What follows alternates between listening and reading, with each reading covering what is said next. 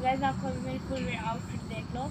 मैंने स्लीपर्स पहने नीचे और ये मैंने फ्रॉक डाली है।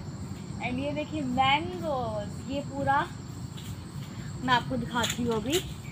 ये जो पूरा है ना, वो आम का है बगीचा ये पूरा। ये देखिए। और मैं खा रही हूँ अभी, कच्ची कैरी, जो बहुत टेस्टी है।